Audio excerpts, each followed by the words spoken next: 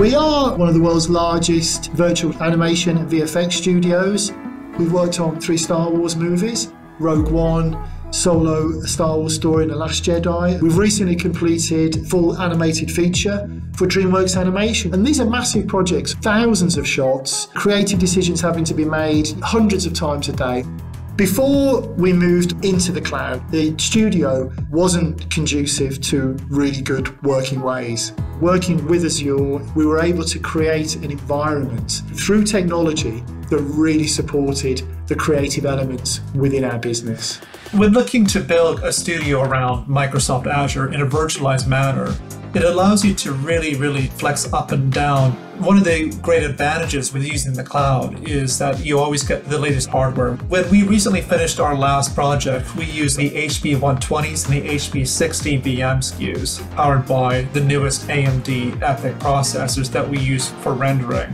The performance that we got out of these chips was absolutely colossal. By leveraging cloud services via Azure, we're able to have a lot of agility and a lot of flexibility Microsoft Azure via the HPC cache and via ScaleSets helped us deliver a job that required massive computational resource on time. You want to be working with the best talent and you want to be working with the best technology. This architecture with Azure allowed us to reach out all over the world and onboard people in an instant as if they were in the studio.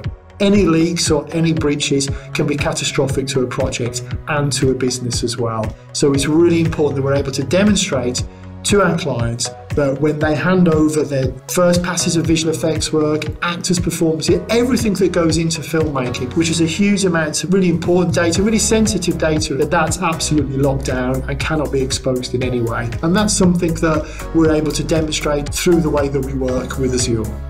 The future for the VFX and animation studio, I mean, it's already happening now. We've just taken down all the barriers and all the walls to how we work, and we will continue to work and embrace this global working environment